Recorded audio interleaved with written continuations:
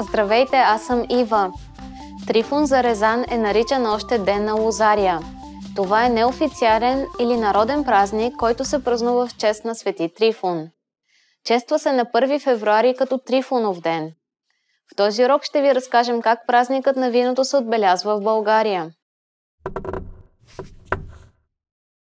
Знаете ли защо Свети Трифон се смята за покровител на лозята? Ще ви покажем отговора в края на това видео. Други популярни имена на празника са Зарезанов ден и Трифон Пияница, например. Самият свети Трифон е бил лечител и става светец-мъченик. Той произхожда от област Мала Азия, смятана за прародина на лозите и виното. Свети Трифон е смятан за покровител на лозята и празникът Трифонов ден се почита като ден на лозарите.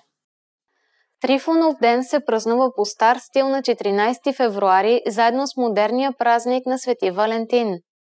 Но традицията повелява на този ден хората с имена, произхождащи от името Трифон, да празнуват имен ден. Например, това са Тричка, Тичо, Радка, Рачо и други. Трифон Зарезан обаче е основно празник на лозарите, градинарите и кръчмарите. На този ден обикновено се приготвя варена кокошка и се умесва хляб. Обикновено под формата на пита. Лозарите взимат от месото и питата и заедно с бъклица вино отиват на лозето. Там извършват ритуала по зарязването на лозите. След като отрязват по три пръчки, те се прекръстват и поливат лозите с виното.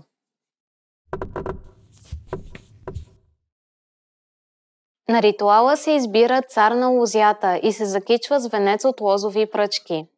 Всички се отправят заедно към града.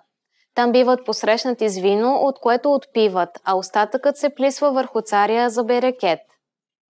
И сега ще ви дадем отговора на загадката от по-рано. Знаете ли защо свети Трифон се смята за покровител на лозята? Легендата разказва, че когато той зарязва лозето си, без да иска отрязал върха на носа си. На иконите обаче той е изобразяван понякога с лозарски нож или сърп, а понякога с сокол кацнал на ръката. Според тази традиция той също е смятан за покровител на соколарите. Как беше този урок? Научихте ли нещо интересно? А вие празнувате ли ден на Свети Трифун и ден на виното и лозята? Оставете коментар за нас на bulgarianpod101.com. И така до следващия урок!